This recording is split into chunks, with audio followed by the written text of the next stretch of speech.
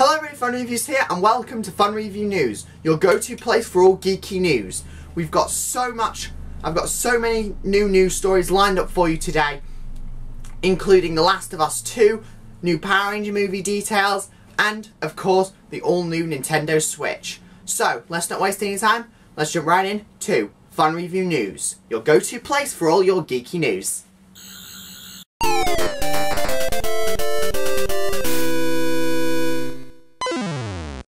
But first for our headline. The headline for this episode of Fun Review News is, of course, Doctor Who Series 10. The official trailer's been announced, including showing off new interesting species and the return of the Daleks. We now know the TARDIS won't be changing desktops, and our new companion's name is Bill and serves chips. And apparently the Doctor's become a professor now. But now, let's move on to our other headlines. So, the Power Rangers movie details.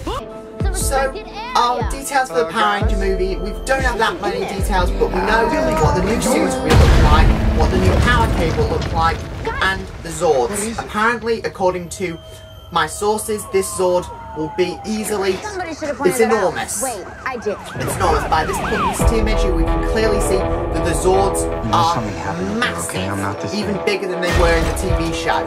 Which Just I'm really looking forward to seeing this movie when it comes out in March of 2017. Now for The Last of Us Part 2. We all remember The Last of Us. It won 250 Game of the Year awards and was critically acclaimed by all sources. No matter where you are, far and wide, Angry Joe, IGN, we all loved The Last of Us. Even me, and I usually don't dig those kinds of games. And we've all been waiting for a sequel to this hit PlayStation 3 and PlayStation 4 exclusive, and it's finally coming.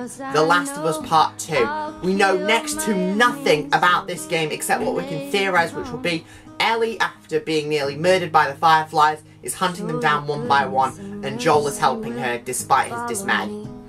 That's all we know currently, but now Thank you for watching this episode of Fun Review News. If you enjoyed it, tell me.